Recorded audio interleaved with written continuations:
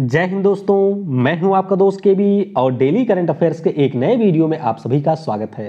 तो आज की डेट है 2 अक्टूबर और 2 अक्टूबर का दिन हमारे इतिहास के दृष्टिकोण से काफ़ी ज़्यादा महत्वपूर्ण है, क्योंकि इसी दिन हमारे राष्ट्रपिता महात्मा गांधी जी का जन्म हुआ था और इसीलिए आप सभी को राष्ट्रपिता महात्मा गांधी जी के जन्म की बहुत बहुत शुभकामनाएँ।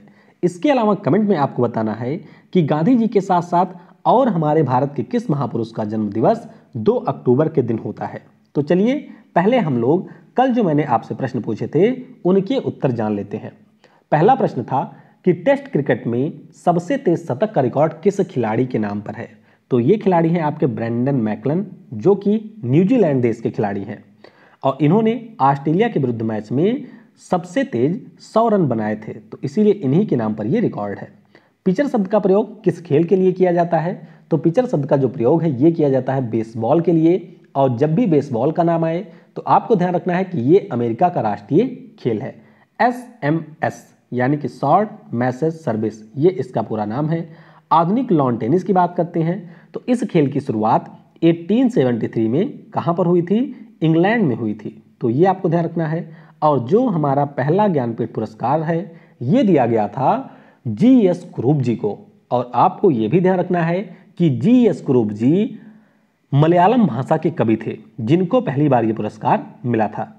आप में से कई सारे लोगों के मन में ये भी हो सकता है सवाल आए कि ये जो मैं प्रश्न पूछता हूँ, ये प्रश्न कहाँ के होते हैं? तो मैं आपको एक बार फिर से बता दूँ कि ये सारे R R B N T B C के जो एग्ज़ाम हुए थे 2016 में, उन्हीं से मैं प्रश्नों को यहाँ पर शामिल करता हूँ। ऐसा नहीं है कि इन प्रश्नों को मैं स्वयं बनाता हूँ। और मुझे ये भी पता है कि इनमें से बहुत सारे प्रश्न ऐसे होते हैं जिनके उत्तर आप में से बहुत सारे लोगों को नहीं पता होते हैं। लेकिन फिर भी मैं प्रश्नों को इसलिए शामिल करता हूँ कि अगर आप ढंग से पढ़ने वाले होंगे तो इन प्रश्नों के लिए गूगल करेंगे। गूगल से आप उत्तर को सर्च करेंगे। सर्च करके आप या तो लिखेंगे या पर कहीं, या फिर आप कहीं पर नोट करेंगे।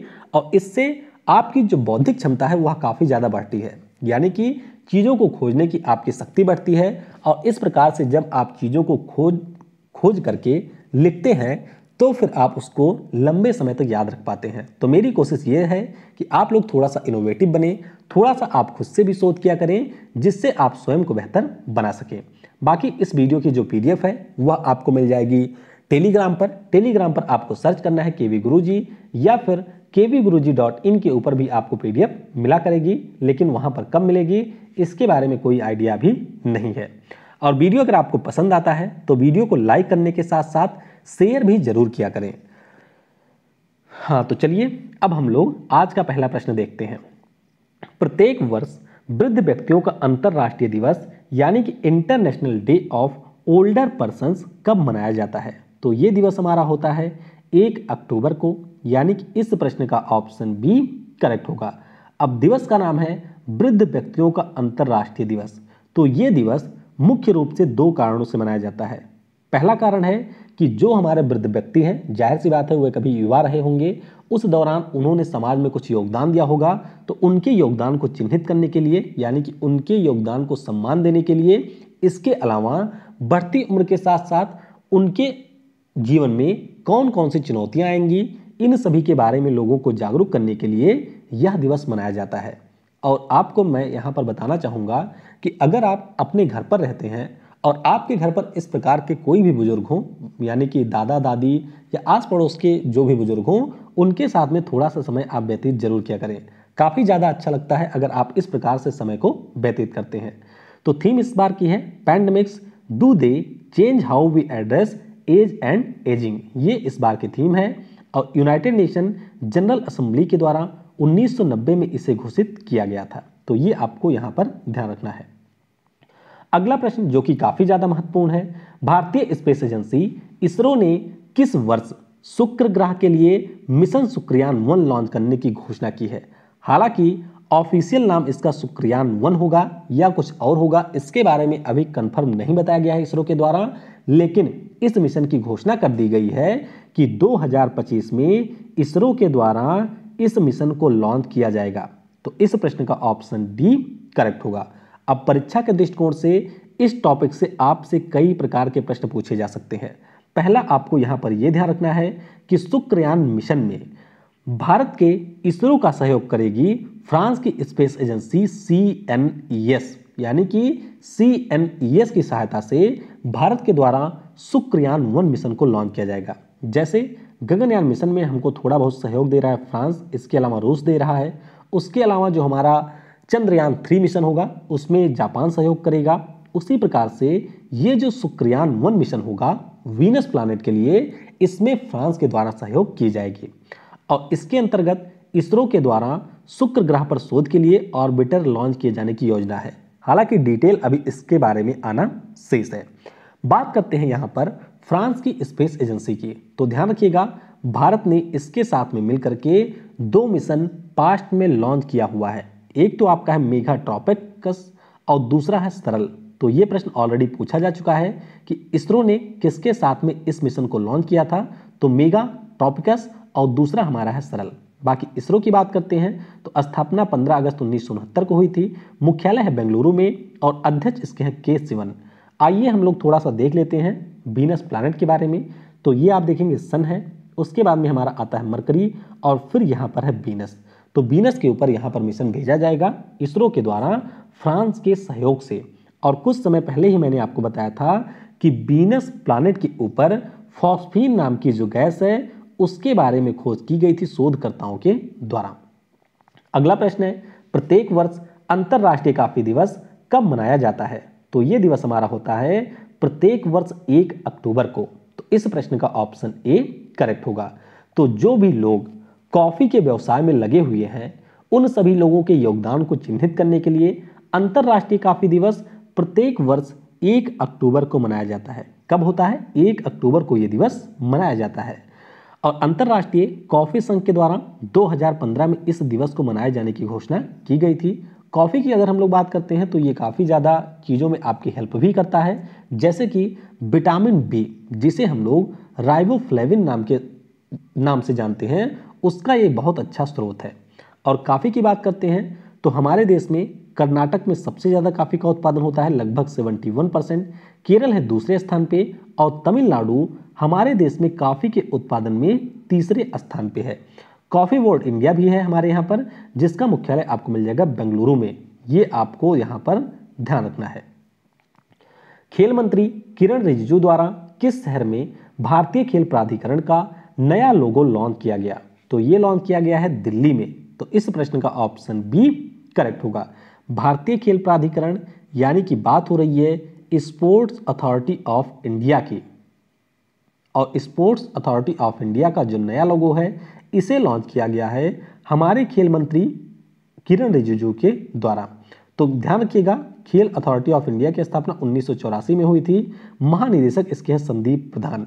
तो ये आप इसके नए लोगों को देख सकते हैं। यहाँ पर एक फ्लाइंग इमेज है, यानी कि जैसे इंसान कोई उड़ रहा हो, और इसमें हमारे तिरंगे को भी शामिल किया गया है। तो ध्यान रखिएगा इमेज को थोड़ा सा कि एक उड़ता हुआ बंदा यहाँ पर है, और इसके साथ साथ तिरंगे को भी शामिल किया गया है। हाल ही में किस बैंक ने I B E note green tech पहल की शुरुआत की है? तो इसकी शुरुआत की है इंडियन बैंक ने, यानी कि इस प्रश्न का ऑप्शन सी करेक्ट होगा। आई बी ई नोट पहल है क्या? तो इसके अंतर्गत इंडियन बैंक के द्वारा अब भी, अब जो उसके कार्य होंगे, उनमें कागज़ का प्रयोग कम से कम करने की कोशिश की जाएगी। यानी कि बैंक के द्वारा यहाँ पर डिजिटल होने की तरफ़ बढ़ने के लिए इस पहल की शुरुआत की गई है। और इसके लिए इंडियन बैंक ने माइक्रोसॉफ्ट ऑफ़िस का जो शेयर पॉइंट है, उसके साथ में एक समझौता भी किया है। इंडियन बैंक के बारे में आपको यह ध्यान रखना है कि सार्वजनिक क्षेत्र का हमारे यहाँ का बैंक है। 15 अगस्त 1907 को स्थापना हुई थी। मुख्यालय आपको चेन्नई में मिल जाएगा। एमडी और सीईओ है पद्मजा चुंद्रू। भारत की अग्निकुल कॉस्मोस ने किस देश की अलास्का एरोस्पेस कॉरपोरेशन के साथ अग्निबॉन्ड रॉकेट के लॉन्च के लिए समझौता किया है?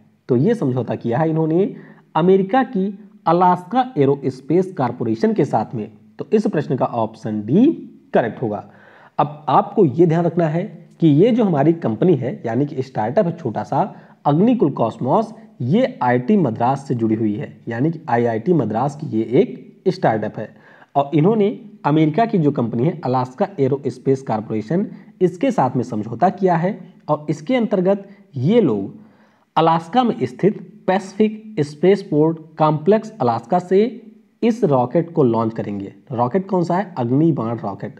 तो ध्यान रखिएगा, ये एक प्रकार का रॉकेट है, छोटा रॉकेट है और इससे लो अर्थ ऑर्बिट में यानी कि 700 किलोमीटर की ऊंचाई तक 100 किलोग्राम पेलोड को भेजा जा सकता है। तो ये आपके लिए महत्वपूर्ण प्रश्न हो सकता है। किस राज्य की सरकार ने छात्रों को अरुण डोरम बोरो अवार्ड 2020 प्रदान किए। तो थोड़ा सा इसका नाम अटपटा है। अनंडोरम बोरो अवार्ड 2020 तो ये दिया है असम राज्य की सरकार ने। तो इस प्रश्न का ऑप्शन बी करेक्ट होगा। तो असम के सीएम कौन है? सर्बानंदा सोनोवाल जी। और इन्हीं के द्वारा जिन छात्रों ने दसवीं में पचहत्तर परसेंट या उससे ज़्यादा अंक प्राप्त किए थे, उन सभी को ये अवार्ड दिया गया है। तो कुल मिलाकर के राज्य के सोलह छात्रों को ये पुरस्कार मिला है। अब इस पुरस्कार के अंतर्गत मिला क्या है छात्रों को? तो इसके अंतर्गत छात्रों को बीस हज़ार रुपए दिए गए हैं, जिससे वह लोग लैपटॉप खरीद सकें और लैपटॉप खरीद करके जो अच्छी अच्छी मूवी रिलीज़ होती हैं, जो टेलीग्राम पर आपको मिल जाती हैं, उन सभी मूवीज़ को यहाँ पर देख सकें। अब मूवीज़ की बात मैं इसलिए करूँगा क्योंकि हमारे उत्तर प्रदेश की सरकार के द्वारा भी बहुत सारे लैपटॉप वितरित किए गए थे समय समय पर। और जितने भी लैपटॉप मैंने देखे, उन सभी लैपटॉप का मुख्य रूप से यूज़ यही किया जा रहा है कि जिन बच्चों को वो लैपटॉप मिले हैं, उनका यूज़ वे लोग मूवी देखने में करते हैं। बाकी लैपटॉप तो मिलेगा ही। अब जैसा आप उसका यूज़ करना चाहें, वैसा आप उसका यूज़ कर सकते हैं। असम से संबंधित कुछ अन्य चीज़ें भी आपके सामने यहाँ पर लिखी हुई हैं। आइए थोड़ा सा रिवाइज कर लेते हैं। गरीब परिवारों को वित्तीय सहायता देने के लिए अरुणोदय योजना यहाँ पर लॉन्च की गई। टेरी के द्वारा, यानी कि द एनर्जी रिसर्च इंस्टीट्यूट के द्वारा गुवाहाटी शहर में बाढ़ पूर्वानुमान, चेतावनी प्रणाली लगाई गई। ब्रह्मपुत्र नदी पर भारत के सबसे बड़े नदी रोपवे का उद्घाटन किया गया। सशस्त्र बल अधिनियम उन्नीस सौ अट्ठावन को यहाँ पर छः माह के लिए बढ़ा दिया गया है। एक भारत, श्रेष्ठ भारत में राजस्थान के साथ में इसको टैग किया गया है। स्वामी विवेकानंद युवा सशक्तिकरण योजना पुनः लॉन्च कर दी गई है। स्टेट बैंक ऑफ़ इंडिया के द्वारा महिला आत्मनिर्भरता प्रोग्राम की शुरुआत की गई है। Dehing Patkai wildlife sanctuary यहाँ का नया राष्ट्रीय पार्क बनेगा, ऐसा सरकार ने कह दिया है। मुख्यमंत्री ग्राम्य परिवहन अचोनी योजना शुरू की गई और पर्यटन संजीवनी योजना की भी यहाँ पर शुरुआत की गई है। और एक ज़रूरी चीज़, वीडियो को आप लोग लाइक करने के साथ साथ शेयर भी ज़रूर किया करिए। मैं आखिर में ये नहीं समझ पाता हूँ कि सब्सक्राइबर की संख्या चार लाख चालीस हज़ार के ऊपर है। डेली वीडियो देखने वालों की संख्या मात्र तीन हज़ार है तो ऐसा क्यों होता है? हालाँकि इसके पीछे का रीज़न मैं पता कर रहा हूँ, लेकिन मुझे कुछ पता नहीं चला है। और कोशिश करिए कि वीडियो आप ज़्यादा से ज़्यादा शेयर किया करिए, क्योंकि एक वीडियो बनाने में आप समझ लीजिए कि मुझे पाँच घंटे लग जाते हैं। तो डेली मैं पाँच घंटे का समय देता हूँ करंट अफेयर के लिए, पूरा टाइपिंग से लेकर के, मैटर सर्च करने से लेकर के, सारी चीज़ें मुझे स्वयं करनी पड़ती हैं। और इसीलिए ऐप के ऊपर कोई डालना अब मैंने बंद कर दिया है, क्योंकि एक घंटा मुझे अतिरिक्त टाइम वहाँ पर भी देना पड़ता था। तो अगर आप चाहते हैं कि इसी प्रकार से मैं डेली आपके लिए करंट अफेयर की बेहतर वीडियो लेकर के आऊँ तो आपको भी यहाँ पर कोशिश करनी है क्योंकि ताली कभी भी एक हाथ से नहीं बचती है। कंटेंट देना मेरा काम है, और मैं 100 परसेंट गारंटी के साथ कह सकता हूँ कि पूरे यूट्यूब के ऊपर सबसे ज़्यादा प्रश्न आपको अगर कहीं से मिलेंगे किसी भी करंट अफेयर के वीडियो से तो वह मेरे वीडियो से होंगे। ये मैं आपको गारंटी के साथ में कह सकता हूँ। तो वीडियो को लाइक करने के साथ साथ शेयर भी ज़रूर किया करें। असम राज्य की बात हुई है तो राजधानी दिसपुर में है। राज्यपाल जगदीश मुखी हैं। मुख्यमंत्री सर्बानंदा सोनोवाल हैं। लोकसभा में चौदह सीटें हैं, राज्यसभा में सात सीटें हैं, यहाँ की विधानसभा में एक सौ छब्बीस सीटें हैं। अभी यहाँ के एक्टिंग न्यायाधीश बनाए गए हैं एन के सिंह अजय लांबा के स्थान पर उच्च न्यायालय यहाँ का आपको मिल जाएगा गुवाहाटी में। राष्ट्रीय पार्क ओरांग, डिब्रू हुआ काजीरंगा नामेरी और मानस है। टाइगर रिज़र्व आपका ओरांग नामेरी काजीरंगा और मानस है।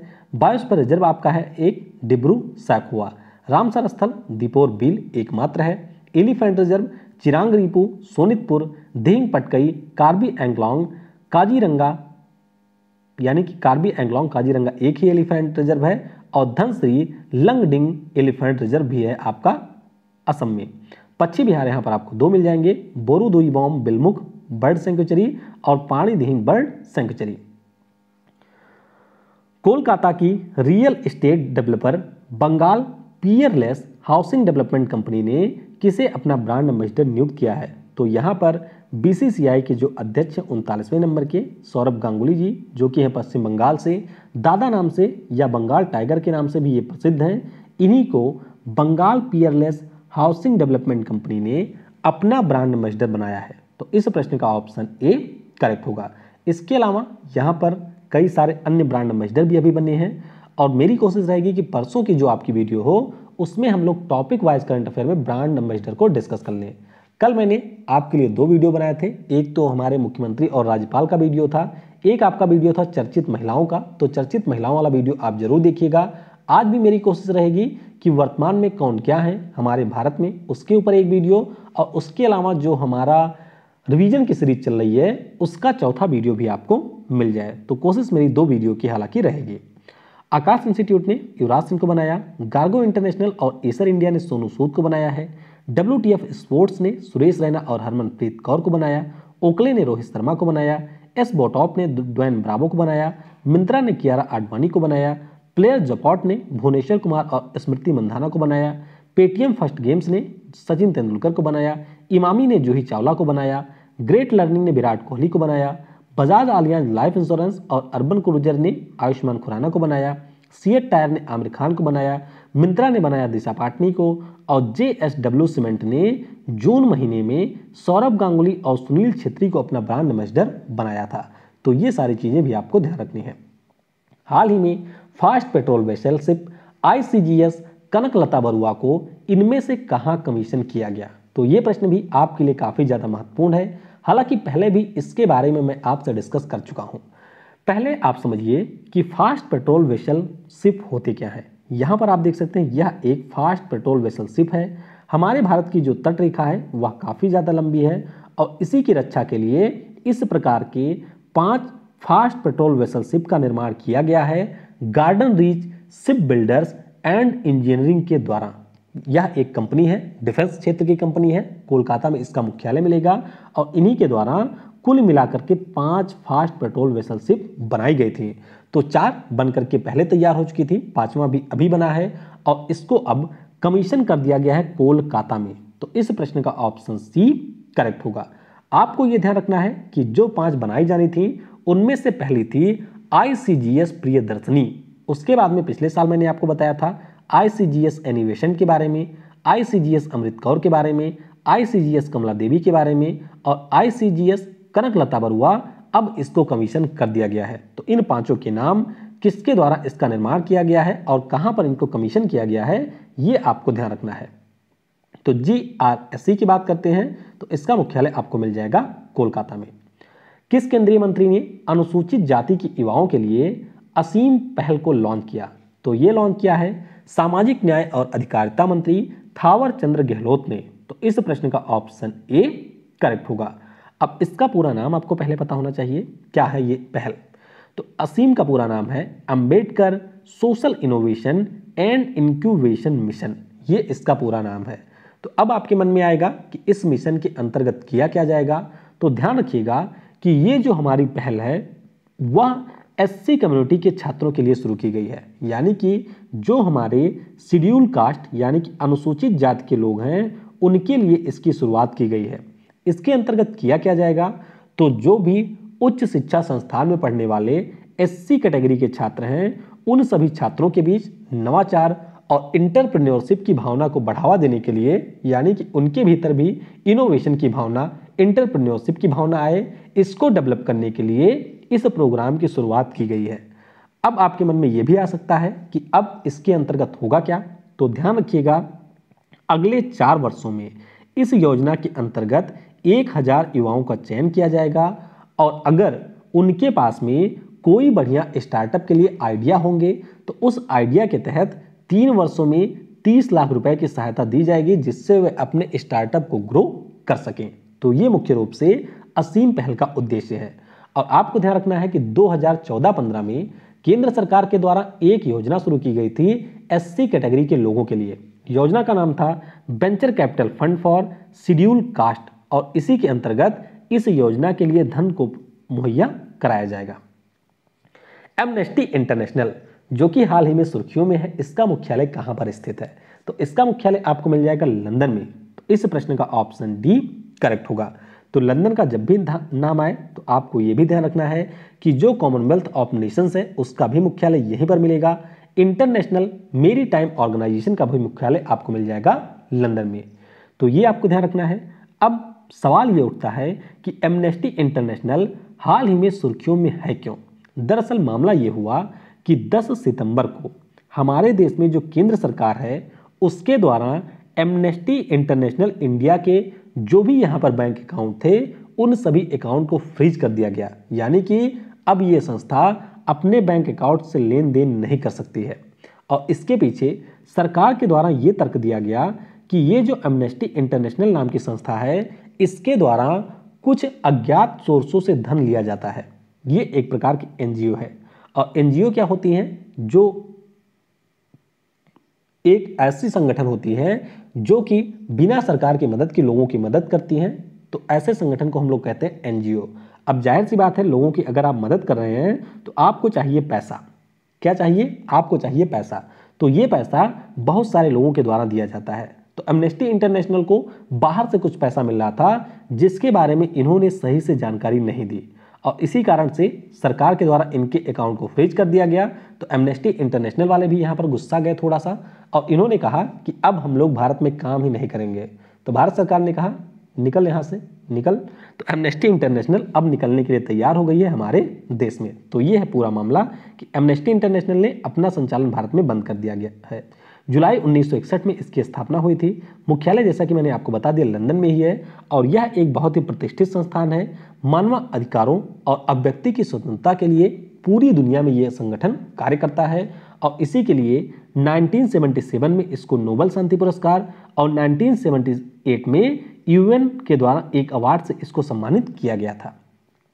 आखिरी प्रश्न है, अंतरराष्ट्रीय टी ट्वेंटी क्रिकेट में एक विकेट कीपर के तौर पर सबसे ज़्यादा बल्लेबाजों को आउट करने का नया रिकॉर्ड किसने बनाया है? तो ये प्रश्न काफ़ी ज़्यादा महत्वपूर्ण है। ध्यान रखिएगा, ऑस्ट्रेलिया की महिला खिलाड़ी एलिसा हिली ने एक विकेट कीपर के तौर पर अंतरराष्ट्रीय टी ट्वेंटी क्रिकेट में सबसे ज़्यादा शिकार करने का रिकॉर्ड बना लिया है।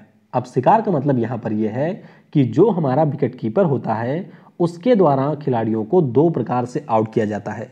एक तो वह विकेट के पीछे कैच करके खिलाड़ियों को आउट करता है और दूसरा वह विकेट जो हमारे बल्लेबाज होते हैं, उनको स्टंप करके आउट करता है। तो ये दो तरीके होते हैं। तो ऑस्ट्रेलिया की जो खिलाड़ी हैं एलिसा हिली इन्होंने हमारे देश के कप्तान महेंद्र सिंह धोनी का रिकॉर्ड तोड़ दिया। महेंद्र सिंह धोनी के पास में टी ट्वेंटी में कुल 91 बल्लेबाजों को आउट करने का रिकॉर्ड था और अब न्यूजीलैंड के विरुद्ध जो सीरीज़ हो रही है, उस सीरीज़ के दौरान एलिसा हिली ने महेंद्र सिंह धोनी के इस रिकॉर्ड को तोड़ दिया है। तो आई होप यहाँ पर आपको समझ में आया होगा। चलिए कुछ अन्य महत्वपूर्ण चीज़ें जान लेते हैं। तो दिव, दो दिवस हम लोगों ने शुरुआत में ही डिस्कस कर लिए। एक अक्टूबर को एक अक्टूबर को एक दिवस और होता है जिसका नाम है विश्व शाकाहारी दिवस यानी कि वर्ल्ड वेजिटेरियन डे ये भी आपका होता है एक अक्टूबर को। फिर आपको याद रखना है शेख नवाफ अल अहमद अब कुवैत के नए अमीर बन गए हैं। अमीर का मतलब यहाँ पर धनी नहीं है रिच नहीं है इसका मतलब है एक राष्ट्रपति प्रकार का पद। तो शेख सबाह अल अहमद यहाँ के अभी तक अमीर थे, जिनका अभी सितंबर लास्ट में निधन हो गया। तो उसके बाद में शेख नवाब अब अल अहमद यहाँ के नए अमीर बने हैं। आरबीआई ने डीके कश्यप को धनलक्ष्मी बैंक के बोर्ड में नियुक्त कर दिया है। बीएससी बात हो रही है बॉम्बे स्टॉक एक्सचेंज की तो इसने छोटे और मध्यम उद्योगों, यानी कि जो हमारे देश में एम हैं, उनको सशक्त बनाने के लिए एस बैंक के साथ में समझौता किया है। और यूनेस्को के द्वारा ऑस्ट्रिया की राजधानी वियना को समावेशी आवास नीति के लिए स्मार्ट सिटी पुरस्कार से सम्मानित किया गया है। तो ये सारी चीज़ें भी आपको थोड़ा सा ध्यान रखनी है। और आज के वीडियो से अब आपके लिए प्रश्न है, विशाल ग्रेट रेड स्पॉट किस ग्रह से संबंधित है? पाकिस्तान की संसद का नाम क्या है? रूस के द्वारा विकसित इकोलॉजिकली तौर पर विकसित क्लीन रॉकेट का नाम क्या है? अंतरिक्ष में शादी करने वाले पहले व्यक्ति कौन है? अब ये प्रश्न भी पूछा गया है, आप मत कहिएगा कि मैंने ऐसे ही ले लिया है। ये प्रश्न भी पूछा जा चुका है, अगर आप लोग चाहेंगे तो मैं आपको दिखा भी दूँगा। और आखिरी प्रश्न है, मोतियों के शहर के नाम से कौन सा हमारे देश में प्रसिद्ध शहर है? तो इन प्रश्नों के उत्तर आपको नीचे कमेंट में देने हैं। बाकी वीडियो आपको कैसा लगा, इसके बारे में आप नीचे कमेंट सेक्शन में अपनी राय भी दे सकते हैं। या फिर अगर आप चाहते हैं कि वीडियो में मैं कुछ सुधार करूँ, कुछ आपको कमियाँ लगती हैं तो आप बिल्कुल स्वतंत्र होकर के अपने शब्दों में जैसा भी आप चाहें वैसा नीचे कमेंट करके भी बता सकते हैं। थैंक्स फॉर वॉचिंग जय हिंद, जय भारत और सबसे ज़रूरी पढ़ेगा भारत तो बढ़ेगा भारत।